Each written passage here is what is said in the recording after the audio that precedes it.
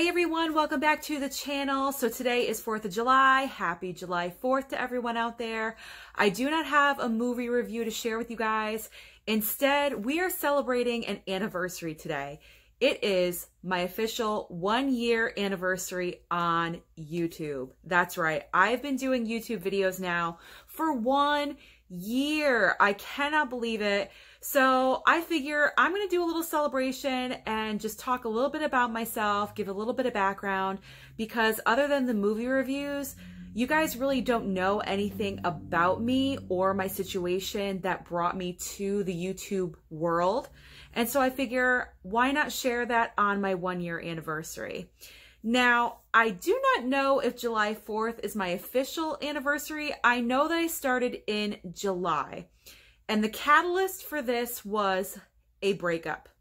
Last year on July 4th, I broke up with my boyfriend and I didn't want to write in a journal.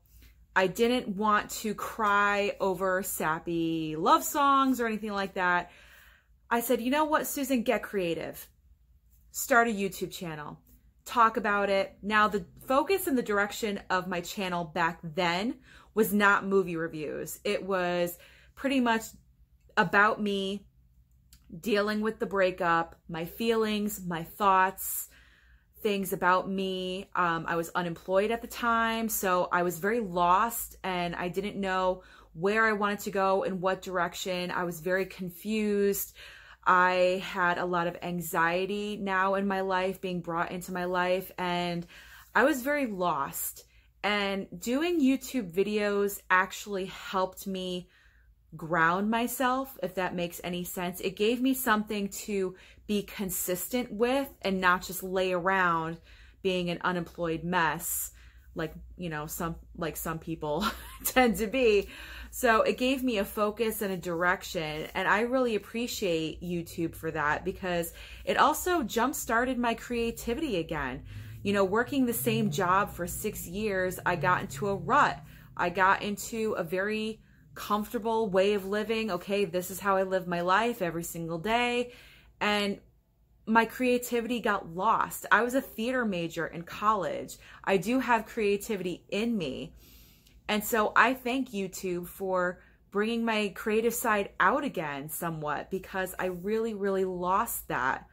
And so when I broke up with my boyfriend, I started my YouTube channel. Now, mind you, I had no idea how to start any of this. I am not big on technology at all. I had to research. I went on YouTube and searched how do you start a YouTube channel? How do you make thumbnails? How do you edit? I started from the very, very bottom and worked my way up. I just recently gotten a brand new phone, so that helped the situation because I had an archaic phone before and I have to admit, my earlier videos from a year ago were not that great. The lighting was bad. Um, I didn't have a tripod. I held it with my hand, but I knew I just had to get content out there into the world to start my channel. And so that's what I just did. I talked about my feelings. I talked about the breakup and I talked about things going on in my life, what was working, what wasn't working, my money issues, my feelings, everything like that. And then actually, my ex and I got back together. And when I told him about my YouTube channel and about me pretty much journaling online about my feelings, he said, I don't want any part of that. If we get back together, you can't do your YouTube channel. I don't want you to do that. And that really hurt me because I felt creative again doing YouTube and I felt excited a little bit, a little bit in my life because I was very extremely depressed without having a job and I didn't know where my life was going. And so YouTube was that little, little piece of light that gave me hope that I was doing something in my life that was okay and that was getting my creative juices flowing. And he pretty much gave me an ultimatum. I kept doing YouTube videos. I didn't tell him that. I just told him, I won't talk about you. I won't talk about our relationship. I will talk about myself. But he wasn't supportive of my channel. And that really, really hurt me. And in the end, we broke up finally for good anyway, right before Thanksgiving in the fall.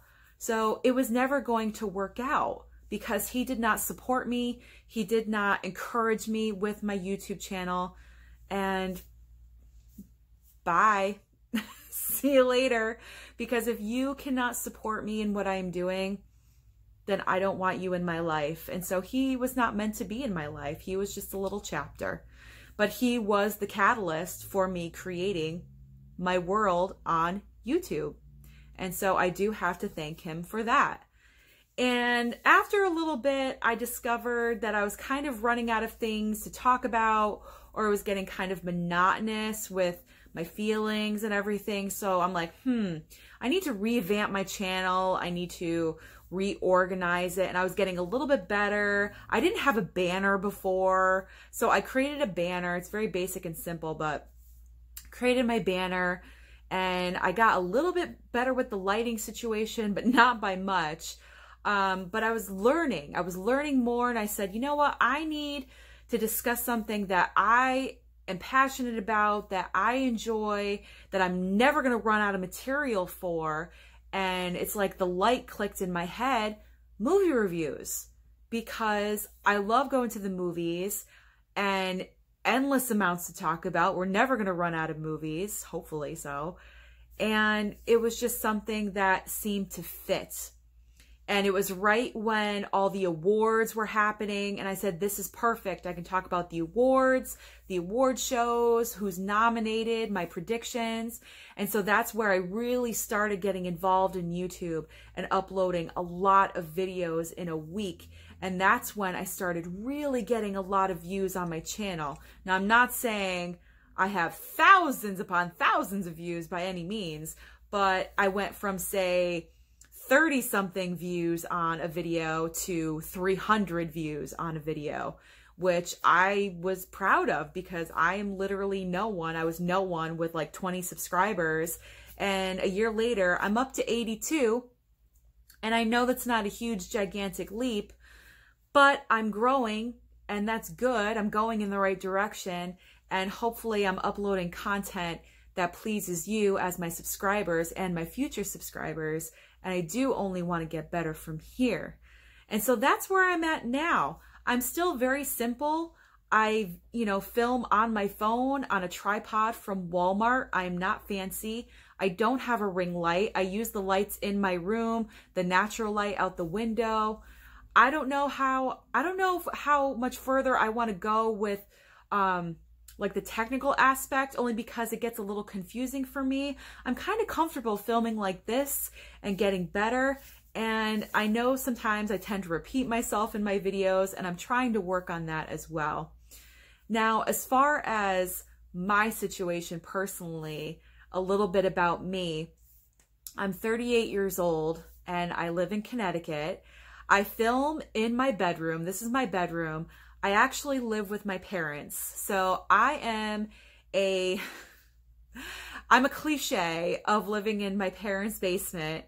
They built me a bathroom down here. So it's kind of like I have my own little mini apartment, but I film in my room in the basement. This is why I do not have a fancy like background or, you know, movie themed or anything like that. I am hoping in the future, when I eventually move out, I will be able to have a special room in my house in the future, whatever I decide to do, that can be dedicated to YouTube videos and for my channel and for my subscribers because I enjoy doing this so much. It gives me something to do. It's my hobby. And I just really love doing this. And I wanted to express that to my channel and to my subscribers that I really do appreciate everyone that sends me comments, that sends me the love, because there are some times when I put out a video and it doesn't get any views. Like my Spider-Man review I just put out, it's gotten three views. No one has watched it. And I think it's because so many reviews are out of that movie right now. But when I get defeated, I get I feel really sad and then I get a comment from somebody that totally lifts my spirits. They say, "Love your channel, keep doing what you're doing. I love your videos." And that just makes me feel so good. And that gives me the drive to continue doing what I'm doing. And I'm getting excited because we are at the halfway point of the year and award time is coming up. It's going to be coming up again. And I'm probably going to be doing prediction videos of who I think is going to get nominated for what movies. And that is just exciting to me. I love award season. I was very wrapped up in last season, and uh, hopefully this season, award season, is going to be that much in, intense for me as well because I was very wrapped up in Bohemian Rhapsody and A Star is Born and everything. So I'm hoping that this award season is going to be just as good, if not better. And I think I'm going to wrap up this video. I just wanted to do a happy anniversary to me on YouTube. One year officially, one year. I can't believe it. And I'm going to continue doing videos for you guys and updates on my life, I guess. Um, things about me. I'm a cat lover. I have two cats. Uh, one is black and the other one is gray and white. They are both rescues. I adopted them from the Humane Society for my job. I am a food delivery person. I work independently. I am a DoorDasher and a Grubhubber. I'm also looking into Uber Eats possibly just to add it into my repertoire. And that is because of my best friend. She opened my eyes to you don't have to work in a structured environment. She introduced me to independent work living, and I'm forever grateful to her for that because I thought in the back of my mind, is it a scam? Is it real? And it's real. Obviously, DoorDash and Grubhub are real things. You do not have to work in an office, put on a suit every day and go to work and be uncomfortable. I love what I do because it gives me the flexibility to do YouTube videos and to go and see movies. And I cannot ask for a better life right now. I'm actually very happy. I'm content with my life. There are certain things that I wish could be better, but I'm not going to dwell on it. I'm okay with it. And I love YouTube. YouTube has enlightened me to so many things. And I watch all the other movie reviewers out there and I'm watching them grow. And I am hoping to grow as well. I want to be a part of that movie reviewer YouTube community. You know, I love Chris Stuckman and Jeremy Jahns, Angry Joe Show, Austin Burke, Zach Pope, um, Grace Randolph, uh, everyone, all those movie reviewers. I look up to you guys. I really, really do. I watch, I'm subscribed to all of your channels and I watch all of your videos and I learn from you guys. I really, really do. I learn from you guys on how you film and how you review your content and it just it's helped me so much and i aspire to be like you guys you are my youtube heroes as far as movie reviews go so if i could even be mentioned at any point in the future with any of you guys that would be like an awesome dream come true so happy 4th of July, everyone. Happy anniversary to me for one year on YouTube. I appreciate all of you guys and love all you guys. And don't forget to hit the red subscribe, join the review crew.